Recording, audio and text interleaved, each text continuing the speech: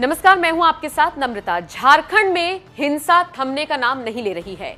रामनवमी पर बहुत हैरान, परेशान कर देने वाली तस्वीरें सामने आई थी। दरअसल, रामनवमी को लेकर जब शोभा यात्रा निकल रही थी तो इस दौरान कुछ असामाजिक तत्वों ने शोभा यात्रा पर पथराव किया था, आगजनी करने की कोशिश की थी। बवाल ऐसा बढ़ा जो अब तक शांत नहीं हुआ है। जी हाँ एक बार फिर से बड़ी खबर झारखंड के जमशेदपुर से सामने आई है। बताया जा रहा है कि कथित तौर पर एक धार्मिक झंडे का अपमान किया गया और उसके बाद जो बवाल मचा उससे हर कोई परेशान हो गया।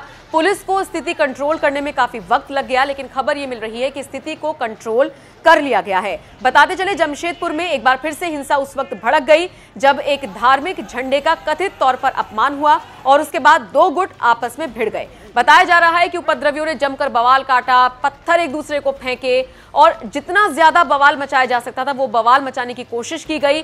माहौल में अशांति फैलाने की कोशिश की गई पुलिस की सुनने को ये लोग तैयार नहीं थे, जिसके बाद पुलिस ने फिर लाठीचार्ज किया। जैसे तैसे इन उपद्रवियों को रोका गया और उसके बाद अब बताया जा रहा है कि इन सब पर कड़ा एक्शन लिया जाएगा। बताया तो ये भी जा रहा है कि पुलिस ने इन सभी को कंट्रोल करने के लिए आँसू गैस के गोले भी दागे थे।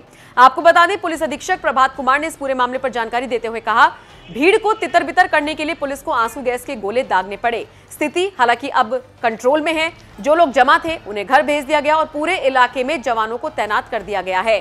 सिचुएशन अभी पीसफुल है। जो लोग भी इकट्ठा हुए थे सब लोगों को अपने अपने घर भेज दिया गया। आप देख रहे हैं पूरे इलाका में फोर्स तैनात कर दी गई है और पूरे इलाका में पुलिस गश्ती कर रही है। अभी किसी प्रकार का कोई दिक्कत नहीं है।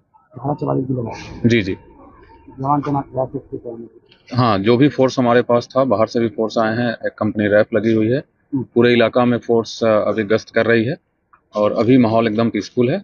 अभी अब जैसा आप देख रहे हैं कि सभी लोग तितर बितर हो गए। हिरासत में जी कुछ लोगों को हिरासत में लिया गया है। नहीं अभी घायल की सूचना तो नहीं है किसी ये मामला पूरा शांत अभी मामला पूर्णतः शांत तो ये जमशेदपुर से जो खबर निकलकर सामने आई उसने हर किसी को हैरान किया और ये सोचने पर मजबूर किया कि झारखंड सरकार क्या कर रही है। वो जमीनी स्तर पर उतरकर क्यों इस तरह के बवाल को रोकने में असफल हो रही है। बहरहाल जो भी अपडेट इस मामले पर आएगा सबसे पहले आप तक पहुंचाएँगे। आप इस खबर पर क्या राय रखते हैं कमेंट करके ज़रूर बताएँ।